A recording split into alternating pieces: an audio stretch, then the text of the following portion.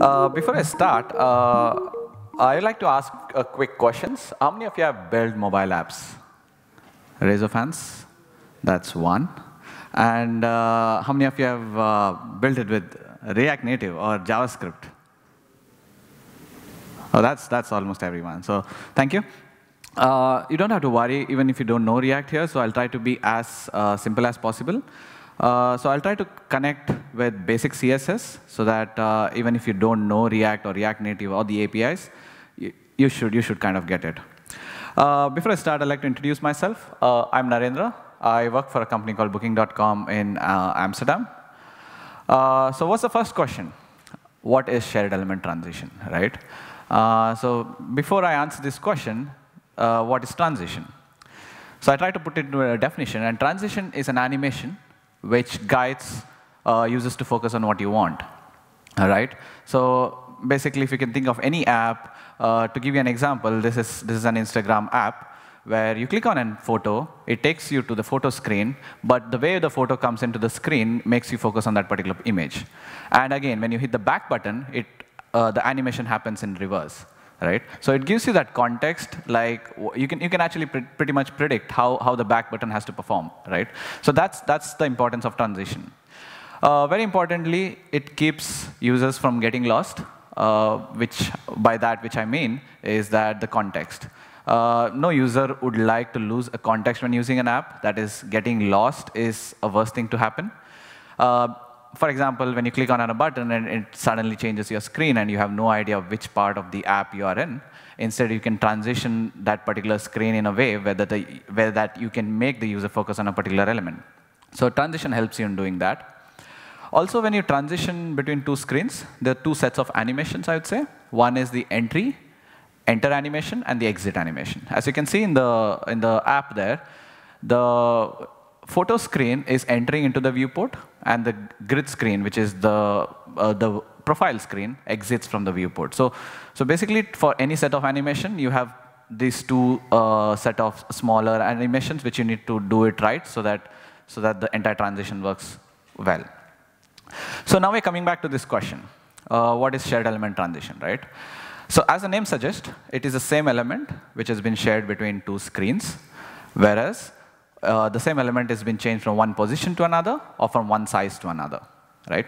Uh, to give an example, this is one of the demo app which I built where it's a photo grid uh, app. You click on a photo, it becomes the main image in the detail screen, and when you hit the back button, it goes back to its actual position. So you kind of know what should happen in the next screen, and when you hit the back button, you already know what would happen, and it brings back to the same context where you were in the previous screen. All right? Uh, one more important thing about shared element transition is it emphasizes the continuity. Uh, that is, it breaks the boundaries. It, you may not know that it's a two different route. Instead, what you see here, it's the same single page, and it, the same single page, the animation's happening and going to the different route. Whereas in reality, it could be multiple routes. Uh, also, also, it helps you helps users to focus, which means uh, you click on an image, it helps, it becomes a bigger image, the focus is already there, or a button which uh, ends up being something else in the new screen, you don't really have to teach the user what this new element is in the screen. Instead, the user already knows what that element is. Uh, before I start, I'd like to give you some few good examples in the real world. Uh, this is Pinterest, where uh, what you see here is it's a pin screen. You click on any of the pin, it goes on to become a big screen. And when you hit the back button, it goes back to its actual position right? So what you see here is it's transitioning from one, different, one route to another, but all you see is it's, it keeps, it's very seamless and it gives the continuity bit, uh, between the screens. Uh, this is Uber. Uh, you might be using it. So when you hit the search uh, tab, it goes to the search route, but you feel that the same component expands, right? But what happening is it could be a different route altogether. Another example is Snapchat where you hit on any of the story, it opens up and you drag it down and you drop it, it goes back to its actual position. So, so what you see here is it could be different routes, but all you could see is it's one single light application where you feel it's, it's all the same route, but in the different uh, ways of showing it.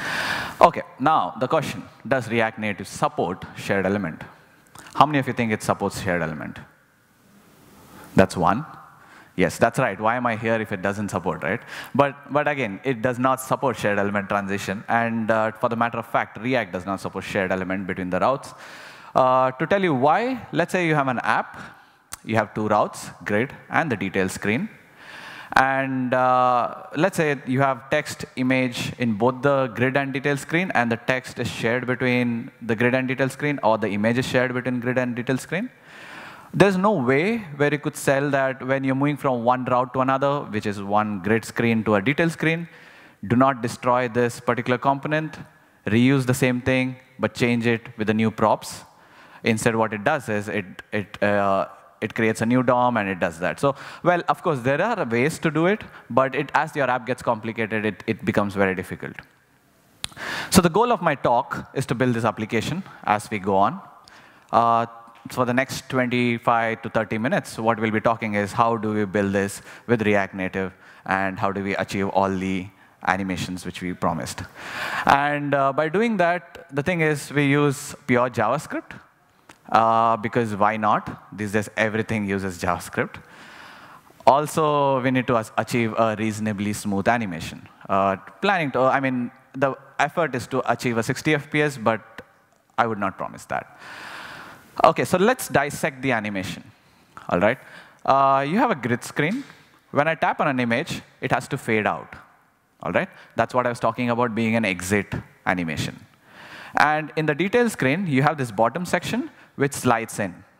All right. This is the entry animation which I was talking about between the shared element. And you have the shared element which needs to be animated. right? So you turn the grid screen, it animates from one position to another, and from one size to another. All right, so that's the three sets of animation which you want to perform throughout. But do you think the image was shared between the grid and the detail screen? How many of you think the image which I've used is, oops, I went to the next slide by mistake. Yeah, now you all know why it, it isn't, right? So uh, to explain why, uh, what I'm actually doing, since it's not shared between the two screen, uh, the grid has its own, own image, the detail has its own image. During the transition, I bring another layer.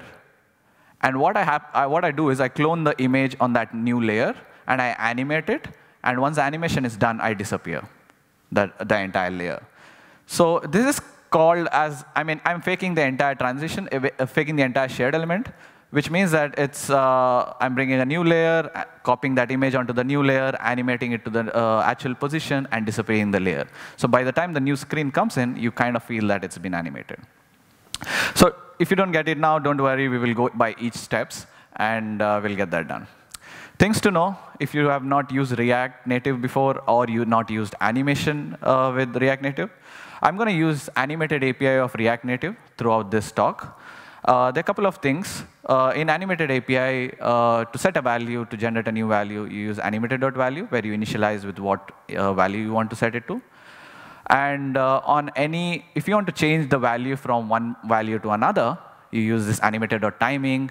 Uh, if you use, use CSS transition, this is very similar to that, where at given 300, 3000 milliseconds, change from one value to another. All right? So this is very similar to that. So this could be performed on a button click, on anything. So you change the value of the animated value from one, one value to another. And you can listen to this particular value as it's changing. So this is called animated, animated value.interpolate, which means uh, you're setting the graph. At the given input range of 0, give me the output value as 1. And at the given output val input value of 1, give me the output value of 0. This is as equal as, as close to keyframe animations in CSS. If you use at 0%, give me the opacity of 0.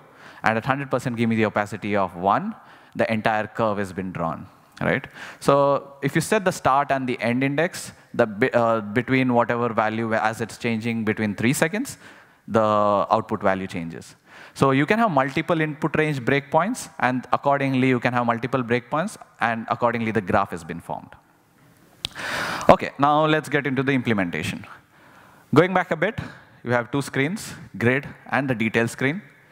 You click on uh, the image in the grid screen, it takes you to the detail screen, and you hit the back button, it takes you back to the uh, grid screen. That's it. And uh, if I have to just do it without any transition. You hit the image button, it takes you to the grid, uh, detail screen, you hit the back button. This is as simple as the state management where you change from one state to another and the component switches between that.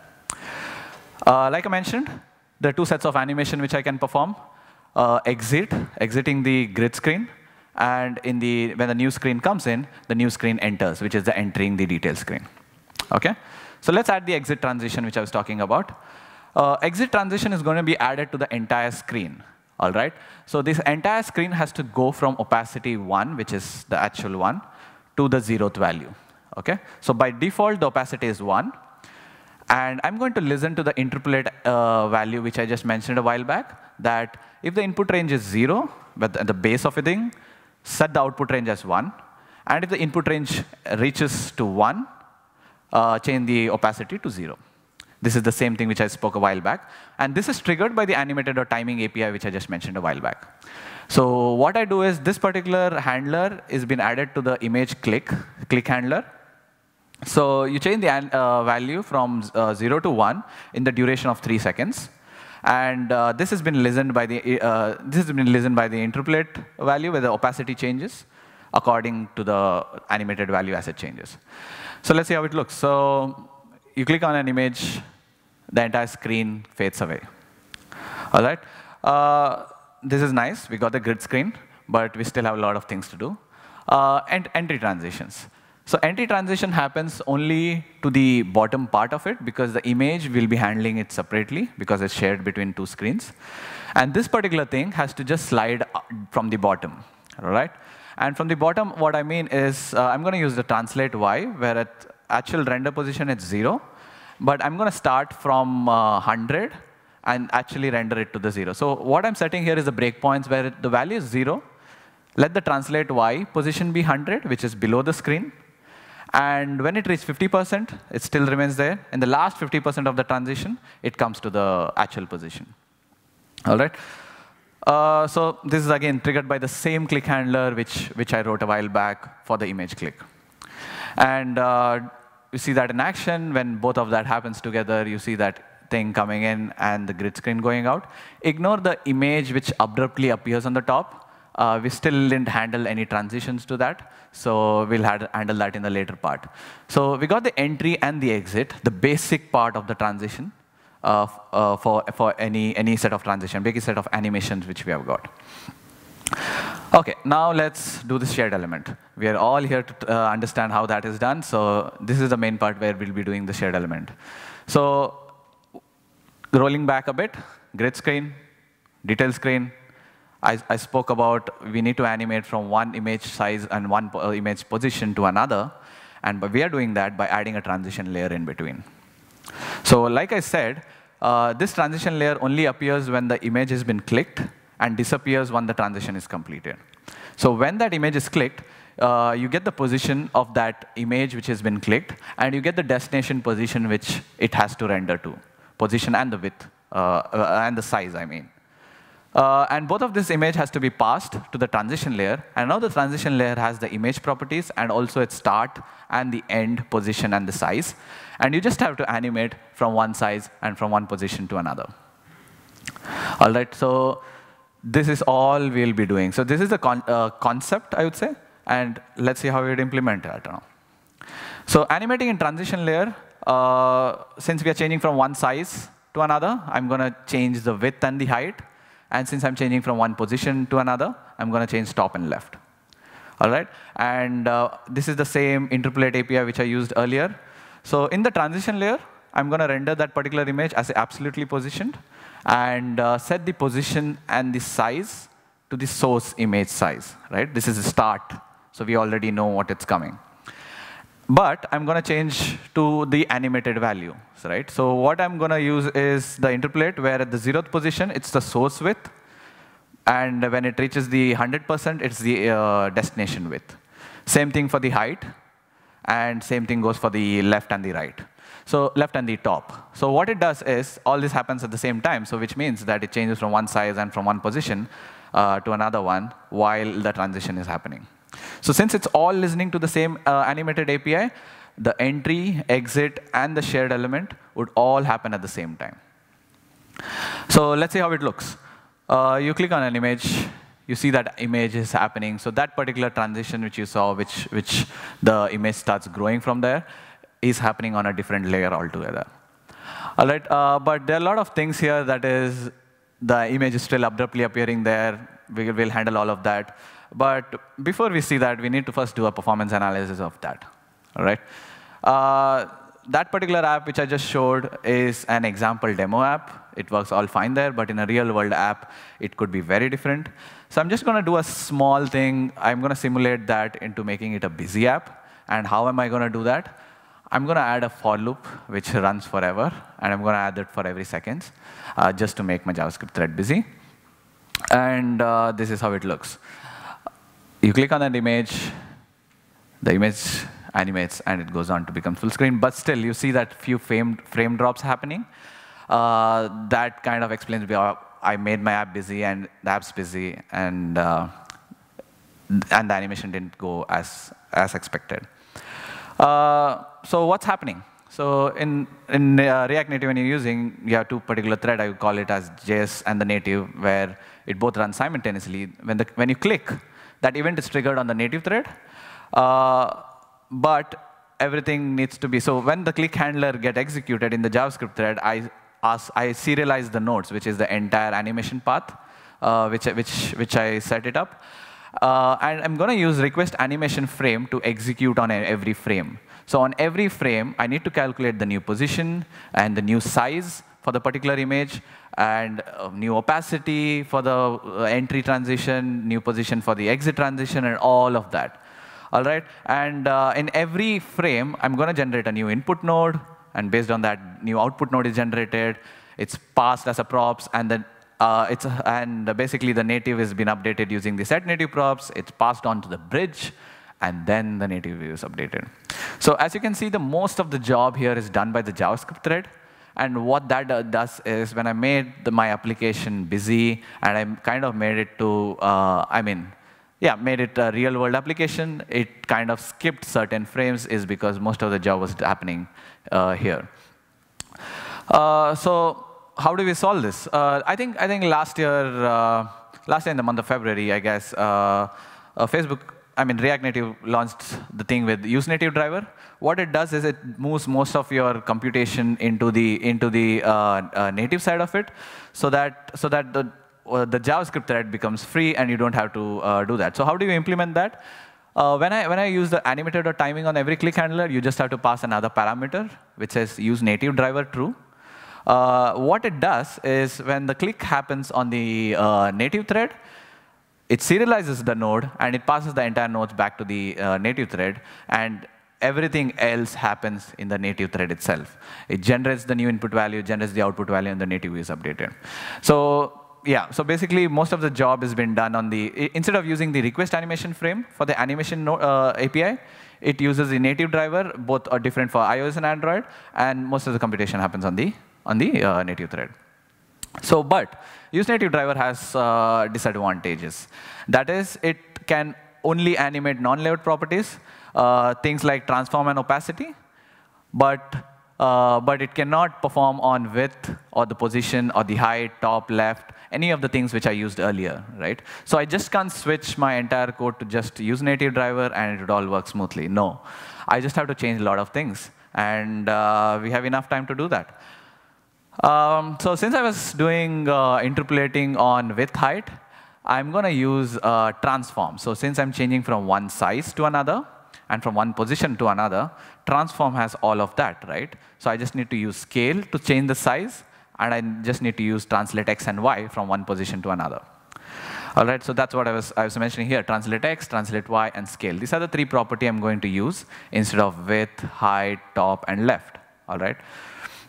So coming back a bit, you have grid screen, detail screen. I have to change from one image size and position to another in the transition layer. But of course, as you can see here, they both are of different aspect ratio. By aspect ratio, I mean the width and height of the source image is different from the width and height, uh, ratio of the width and height in the uh, destination image. And that's because it's scaled to, uh, to fit the header image. All right. So the point of scaling is when I'm scaling from a uh, one aspect ratio to another, it can go really wrong. Basically, you cannot do that. So I have to bring them to the same aspect ratio. All right. And by, for doing that, I'm going to bring the uh, des destination image to the aspect ratio of the source image. All right, and that's because only because uh, the grid image is the bigger image at the actual size of the image, whereas in the de detail screen it overflows as if it's a landscape or a portrait, it overscopes, uh, overflows accordingly. Uh, so to, how do you get an aspect ratio of both the images? Uh, it's width by height, simple as that. Uh, the difference between that, if it's greater than zero, it's a landscape image. That's it's the width. Uh, it's a wider image. Width is more than the height. And the same thing if the other way, it's the uh, uh, portrait image. So if it's a landscape image, I need to keep the height same as the destination, but I need to find the new width, which is the overflowing one. But if it's a portrait image, I need to keep the uh, width as the same, and I need to get the new height. All right? And to get the new width of the aspect ratio, according to the aspect ratio of the source image, I'm going to do a source aspect ratio into the uh, height. I'm going to get that, and the same thing for the, uh, for the height, which is width by the source of aspect ratio. By doing this, I'm going to get the aspect ratio of source image in the destination size. So this is how it's going to look. So as you can see on the top, uh, it's the aspect ratio I'm following of the source image, but I'm rendering the bigger one. Uh, but only thing is, it's not as what we wanted. Uh, it's the only difference here, what is happening is just that the image is not centered, right? You just have to center the image and everything is done and leave the things which is overflowing. And to do that, I just have to take the positions which I have and have to uh, divide, I mean, half of the image width, just have to move that extra space, have to be moved to the left. Uh, so it's different for landscape and portrait because landscape you have to move on the left, but portrait you need to move on the top so that you come to the center because the width is the same. Uh, all I'm doing is I'm getting the new width uh, minus the destination width, that is the old width. Half of it is what I'm going to move, add it, uh, subtract it to the position x, that is I'm going to move to the left.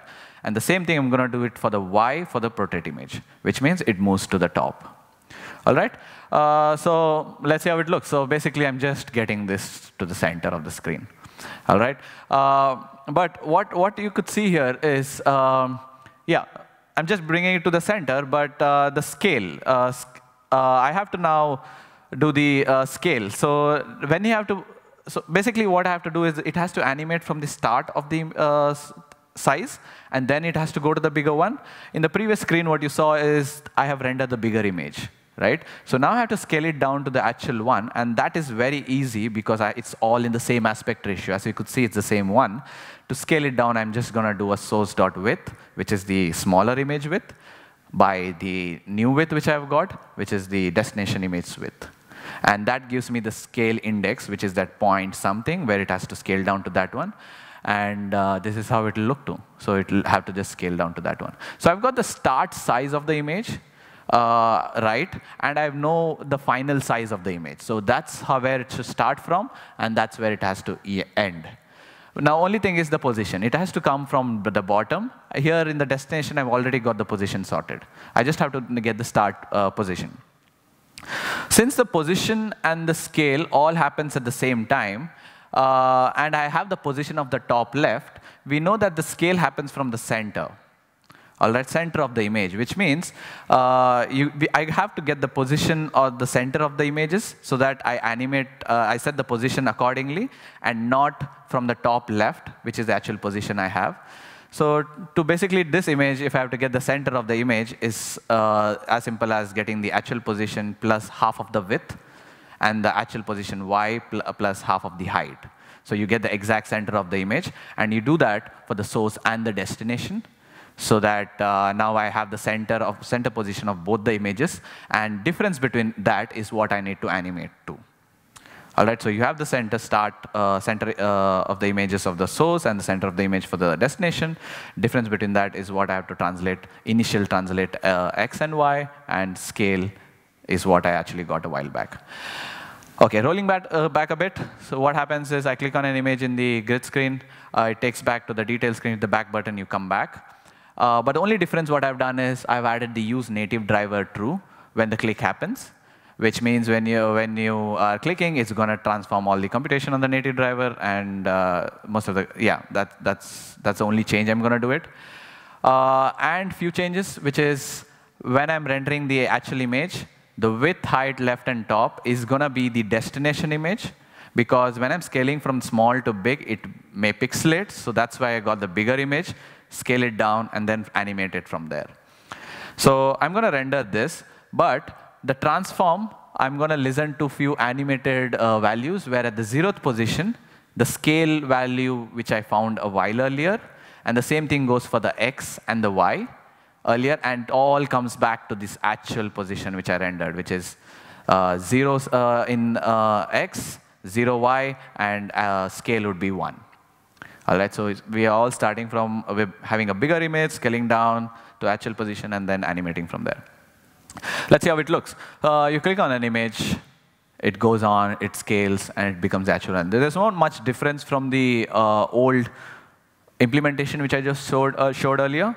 But the only thing which we have to do is we'll have to make it to see if it's a busy app.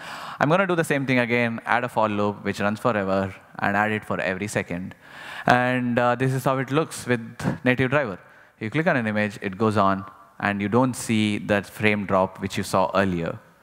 And that's only because the JavaScript thread is free now, and most of the animation, which computation which happens, which happens on the native thread. OK, so we have got this now. We click on an image, it goes on, but it's not complete, right? All you could see here is there is still that abruptly appearing image on the top. Uh, you click on that image, you still didn't feel that it's shared element because that particular image which you click has not disappeared from the background. I mean, you feel that new image is coming. I just have to fake those things, and uh, I think it should be fine now.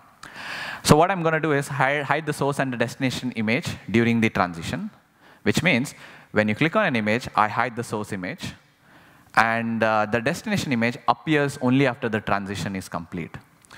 So for that, I am going to listen to the same animated value, which happens when you trigger it, at the start of the animation curve, that is 0.005 to 0.01, I change the opacity, which is at 1 to 0, which means the moment you click, you would, it, uh, that particular image which you clicked would just disappear. And the same thing I'm going to do for the destination image, but in the other way, that is in the last part of the uh, transition, when it is about to reach 1, uh, make the opacity to 1. All right, this, this is just making sure that the last bit of the transition, that this image appears, and the start bit of the transition, that image disappears. Uh, let's see how it looks.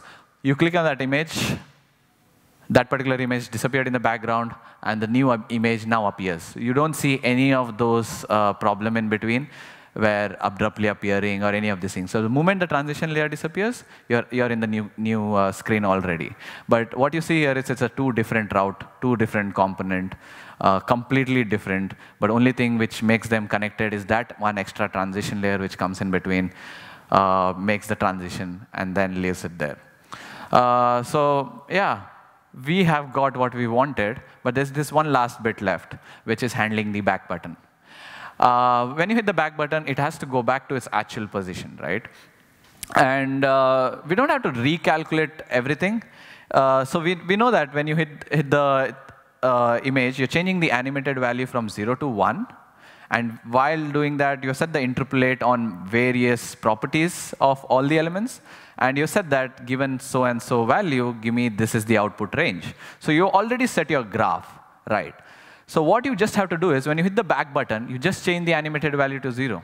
And the entire animation is going to happen in reverse, which means it's going to start from the biggest image and it's going to go back to its actual position.